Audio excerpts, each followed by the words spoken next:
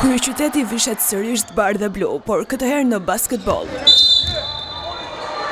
Tirana ia doli të mposhtë Partizanin dhe në sportin e parketit, pasi triumfoi me rezultatin final shtatëdhjetë e pesë, pesëdhjetë e nëntë. Në derbin e luajtur në Pallatin e Sportit Aslan Rusi, diferencat mes dy skuadrave u panë qartë. Ndonëse të kuqtë e nisën mirë, duke fituar setin e parë me rezultatin shtatëmbëdhjetë, katërmbëdhjetë, ndërsa bardheblutë u zgjuan në setet e tjera, duke përmbysur gjithçka pa shumë vështirësi.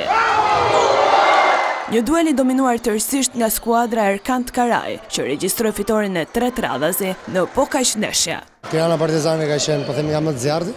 Sot s'ishte një lojë, po flas nga ana ime të paktën, nga ana jonë, nuk ishte lojë që ne e prisnim. Prisnim lojë më të mirë, pavarësisht fitores.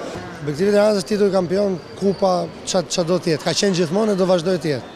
Tekniku i kuq Erdal Borova u shfaq i zhgënjyer me rezultatin, ndonëse e pranoi se Partizani është larg pritshmërive këtë sezon. Problemi i madh i jonë ishte finalizimi i aksioneve, kur kishim një përqindje mjaft të ulët në gjujtjet nga loja si për dy pikë ashtu dhe për tre pikë, gjithashtu dhe humbëm shumë nga gjujtjet e lira. Nuk po them objektivat titull kampion, Partizani luan çdo ndeshje si për të jetë ndeshja finale e kampionatit. Nuk ka rëndësi qëllimi përfundimtar. Në ndeshjet e tjera Vllaznia u mund tetëdhjetë e pesë, nëntëdhjetë e nëntë nga Kamza, ndërsa Teuta ia doli të fitojë me rezultatin final tetëdhjetë e tetë, pesëdhjetë e gjashtë përballë Dinamos.